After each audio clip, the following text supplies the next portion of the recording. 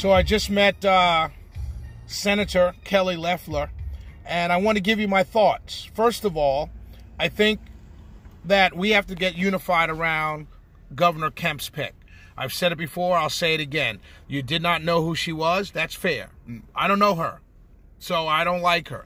That's not really fair. It's one thing to say I don't know where she stands. It's another thing to make up her stances um, through innuendo, through uh, uh, hit pieces, um, and and letting national talk radio hosts uh, sway you um, when you don't know the lady. Today I heard her speak. Many of you probably by the time you see this would have heard her speak and she stands for everything that a Georgia conservative would stand for.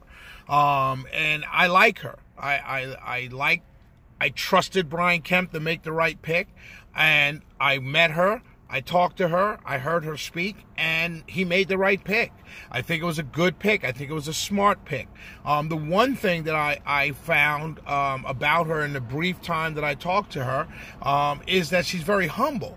Um, to be a very successful businesswoman, to be very rich, let's be honest, um, and now to be to have been appointed a U.S. senator um, let's understand this is history. I don't think, and I'm pretty sure about this, Georgia's never had a female senator. Um, so now to have made history from humble beginnings, she's a very humble person.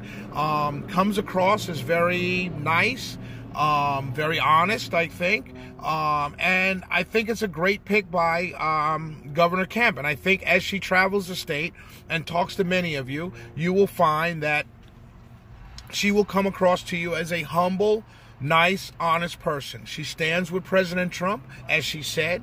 Um, she's pro life, as she said. Um, she's pro gun, as she said. She's pro wall, as she said.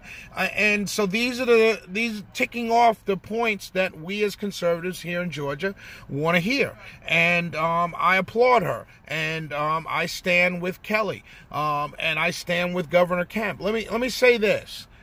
I also stand with um, President Trump. But President Trump is the president of the United States.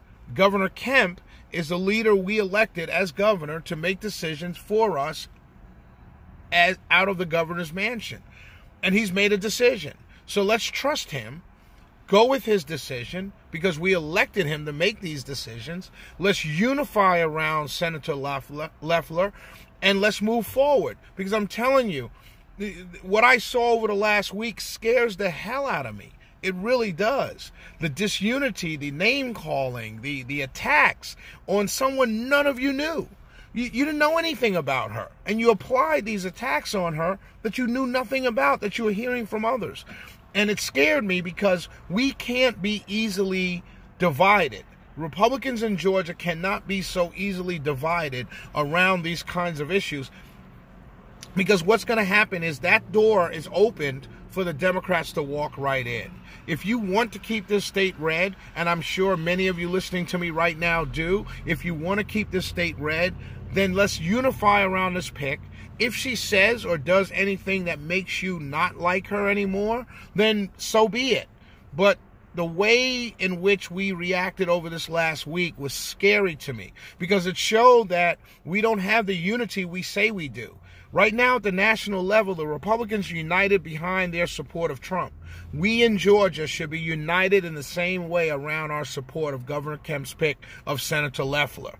And until she proves you wrong, stand united because we can't a divided republican party in the state of georgia will allow the democrats to walk right in and forget losing the governor's seat forget losing possibly a Senate seat, we will lose the state legislature. We will lose the state house with the quickness. So please stand with Kelly, st- trust in Governor Kemp's pick, and let's move forward as a united state party. Peace.